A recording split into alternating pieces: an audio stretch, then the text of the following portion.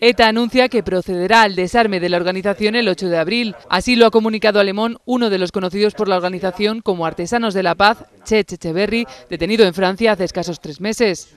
Este militante de bici ha dicho que ETA le ha confiado la responsabilidad del desarme de su arsenal y en la tarde del 8 de abril ETA estará totalmente desarmada. La declaración expresa la intención de la banda de acelerar el proceso de desarme, hasta ahora paralizado, después de que haya procedido ya al sellado de sus zulos. Según ha apuntado este portavoz en el periódico Galo, se entregarán las armas a las autoridades francesas bajo la mirada de los observadores internacionales, pero las condiciones todavía no son conocidas.